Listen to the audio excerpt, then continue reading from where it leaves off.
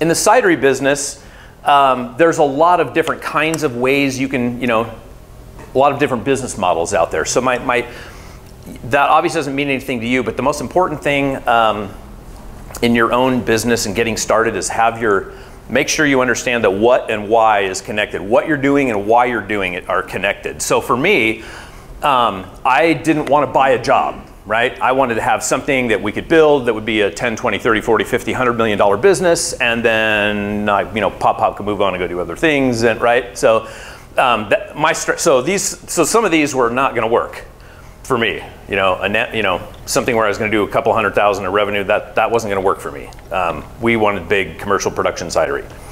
Um, that's because I wanted to do other things in life, not just this. So if you're just trying to like move out and you just need a job, you know, you can go get a restaurant or you can do one of these other things. But so make sure whatever it is, if it's an app or if it's a service business or whatever, you know, your, your what and your why are aligned and that'll I think really help you pick your business model too.